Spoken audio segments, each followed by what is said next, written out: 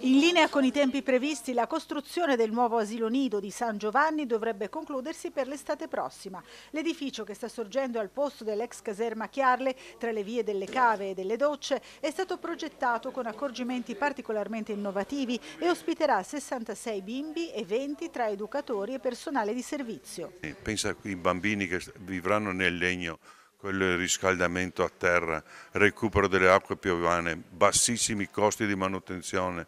Questo è il domani e questo è quello che voglio fare. Basta cemento armato che dopo vent'anni devi buttare via tutto. Guarda che roba, prova a pensare a questi bambini che giocheranno in questi ambienti così sanificati, così sani, bellissimo. È un cantiere completamente innovativo, è una scuola con tutti gli impianti moderni, impianti di riscaldamento a pavimento, fotovoltaico, ehm, tutto a norma e tutto anche secondo i criteri per far accedere chi ha disabilità, non solo fisica, quindi difficoltà motoria, ma anche visiva.